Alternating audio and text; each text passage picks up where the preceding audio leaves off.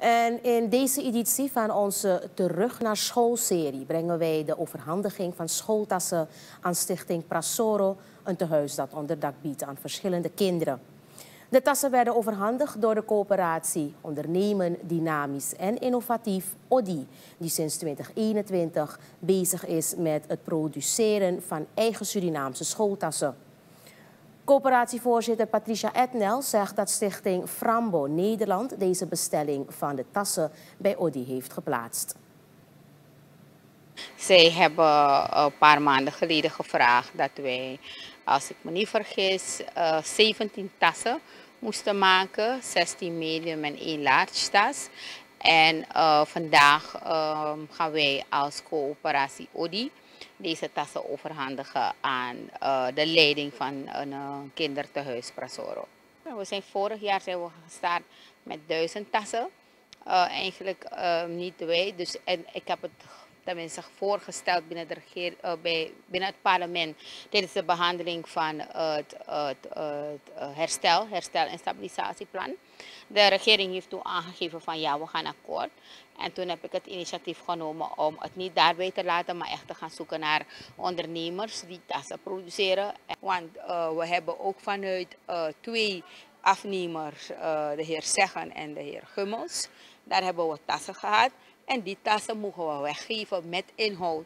En dat gaan we vandaag ook doen. Dus naast dat we dit doen, zijn er ook tassen die we weggeven. We hebben elk bestuurslid mag iemand opgeven. Dus die tassen geven we ook weg vandaag. Dus we doen ook het sociale. Maar onze streefdoel is wat we ervoor we gaan.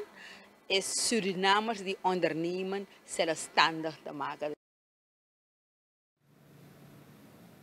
Etnel geeft aan dat het doel van de coöperatie is om zelfredzaamheid onder Surinamers te stimuleren. Momenteel heeft coöperatie ODI 23 leden die dit jaar ruim 2000 tassen hebben geproduceerd. In vergelijking met vorig jaar hadden we 1000. Moet ik zeggen dat we dit jaar veel meer losse bestellingen hebben gehad van uh, bedrijven. En dat is uh, heel goed te noemen. Dus we gaan ervoor dat we volgend jaar meer dan 2000, onze streef is om volgend jaar als het kan tussen de 5 en 10.000 tassen te maken. ODI is geen sociale vereniging hoor. We zijn een coöperatie en een coöperatie heeft een bepaald doel. Het doel van een coöperatie is om ervoor te zorgen dat samen met zij die uh, daar een baat bij hebben, het doel van hebben, dat ze samen groot worden. De coöperatie ODI is voor de textielondernemers. Ondernemers die binnen de textielindustrie en deze kleine ondernemers verder willen groeien. Wij produceren en we leveren. Toch? Dat is ons doel. We willen dat, uh, dat stukje van armoedebestrijding, daar willen keihard onze bijdrage leveren.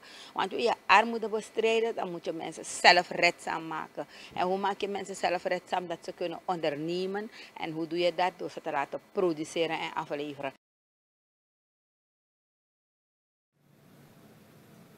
Ednel zegt dat ODI meehelpt aan het sociale. Echter is de coöperatie bedoeld om een platform te bieden aan ondernemers om eigen Surinaamse producten te produceren.